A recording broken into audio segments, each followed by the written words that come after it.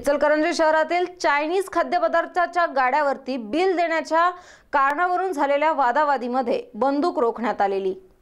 इचलकरंजीतील तीन बत्ती चौकातील चायनीज गाड्यावर रात्रीच्या सुमारास बिल देण्याच्या कारणावरून वादावादी झाली. वाद वाढल्याने एकाने सरळ पिस्तूल रोखले.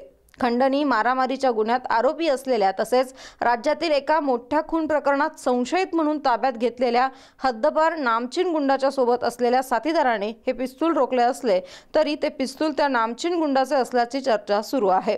हद्दपार असतानाही तो शहरात वावरतो तसेच पिस्तूल जवळ बाळगतो त्यामुळे पोलिसांनी हे प्रकरण गांभीर्याने घेऊन संबंधित नामचीन गुंडाला अटक करून त्याच्यावर कारवाई करावी. तसेच त्याच्याकडील पिस्तूल जप्त करून त्याबाबत चौकशी करावी हे गरजेचं आहे.